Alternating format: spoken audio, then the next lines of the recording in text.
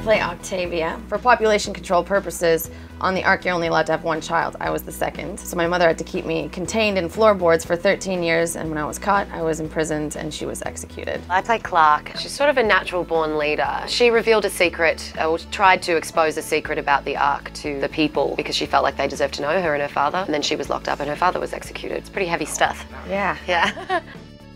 I write music and play guitar and it's always fun to have a few drinks and play for my friends. I have a 1200cc Harley Davidson motorcycle that I like to rip around. I'm Canadian, so it's nice to live in LA uh, where you can ride it all year long and it's not freezing and minus 40, which is a bonus.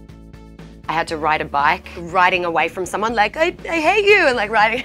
So I'm riding this bike, I was like, I hate you, and then the brakes failed. Ended up careering down the hill and then crashed into a car and all these English tourists. It was probably the most humiliating moment of my career. So one of the first projects I ever did, they're like, can you dance? I'm like, easily. Book the job, get to set, and then sure enough, it's like the So You Think You Can Dance, like top 10 dancers and me. And they teach us this routine in about, you know, three and a half actual minutes. And they're just like, bam, bam, bam, like perfect, right? Sexy, and I'm just like awkward. And then the producers come up and they're just like, so, uh, we're gonna change the schedule. We're gonna shoot this last. Learned a good lesson there. Don't lie about your uh, Yeah. dancing, dancing skills.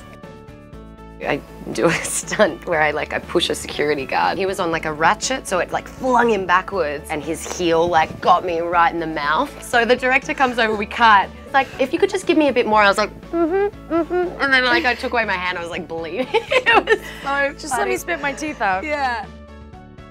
Sesame Street, Muppets, the classics, Mr. Dress Up. Was that only a Canadian thing? I did love Sailor Moon. I found a little stick-on jewel. I'd put it on my head like Sailor Moon and run around the house.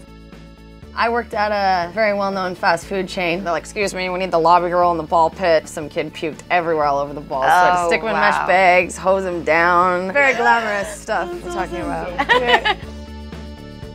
Hi, my name's Eliza Taylor, and I'm Marie Avgeropoulos. and, you're, watching TV Guide magazine.